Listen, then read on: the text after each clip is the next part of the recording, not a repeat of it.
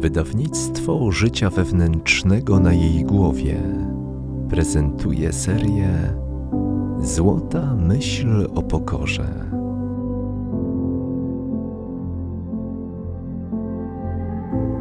Matko Najświętsza, Tobie dedykujemy ten cykl audycji. Prosimy Cię bardzo, uproś nam u dobrego Boga dar pokory, której tak bardzo potrzebujemy.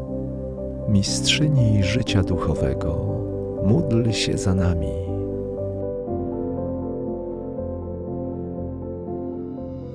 Ponieważ jest rzeczą oczywistą, że bez Boga nic nie możecie zrobić dobrego, że bez Niego upadalibyście co krok i każda pokusa rzucałaby was o ziemię.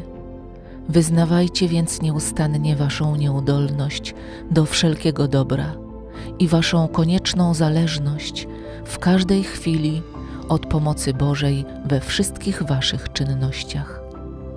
Dlatego nieustannie ciśnijcie się do Boga jak małe dzieciątko, które nie widząc żadnego innego wsparcia dla siebie, tuli się do łona matki. Mówcie z królem prorokiem, gdyby mnie Pan Bóg nie był wspomógł, dusza moja o mało co nie byłaby wtrąconą do piekła. Psalm 93.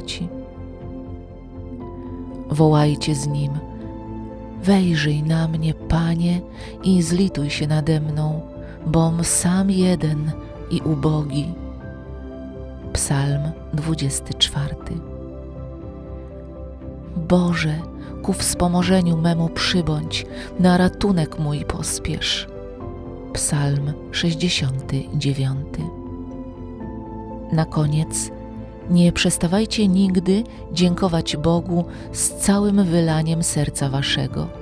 Dziękujcie Mu szczególnie za opiekę, jaką was nie tylko otacza, ale i uprzedza was i proście Go nieustannie o wspomaganie Was w potrzebach Waszych, czego nie możecie otrzymać od nikogo innego, jak tylko od Niego samego. Zaczerpnięte treści pochodzą z dzieła Złota Książeczka o praktyce pokory. Pełną wersję dzieła i audiobook nabędziesz na stronie na jej głowie.pl.